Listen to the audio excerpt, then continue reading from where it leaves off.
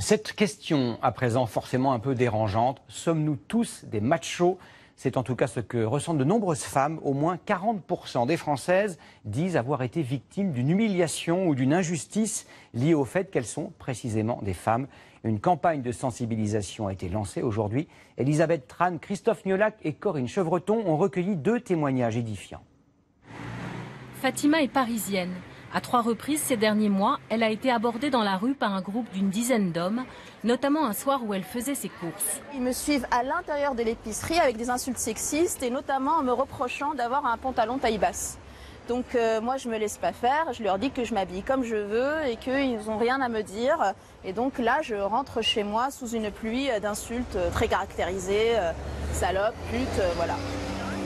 Quelques jours plus tard, ce fut encore pire me prennent le bras, un autre me crache au visage. Et, là, je, sens vraiment par instinct de survie que euh, si je m'écrase et que euh, je rentre chez moi à petits pas, euh, c'est fini, ça va les désinhiber. De fait, Fatima ne se laisse pas faire et décide de porter plainte au commissariat. Ça s'est pas exactement passé comme prévu. J'ai l'impression que le commissariat ne m'a pas prise au sérieux. Il m'a dit Bon, j'imagine que vous rentrez pas à cette heure-ci pour le plaisir, mais quand même, essayez de rentrer moins tard chez vous et si possible accompagné. Je suis restée estomaquée. Face au sexisme ordinaire et quotidien, certaines femmes cèdent au découragement.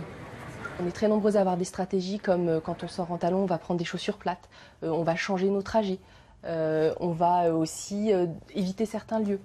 Et du coup, ça crée un sentiment d'insécurité des femmes dans l'espace public. Le sexisme existe aussi au travail. Anaïs en a fait l'expérience, comme de nombreuses femmes. Il me chuchotait à l'oreille dès qu'on était tout seul que j'étais sexy, euh, qu'il avait envie de moi. Voilà, il me faisait comprendre un peu tout ça. Et toujours sous couvert de plaisanterie, rigolait après, en fait, quand, je me montrais gênée. La campagne lancée aujourd'hui a déjà fait réagir. Sur Twitter, où l'on parle de vécu, on peut lire. Quand on me demande Mais comment tu vas faire avec les enfants? quand je dis que j'ai trouvé du travail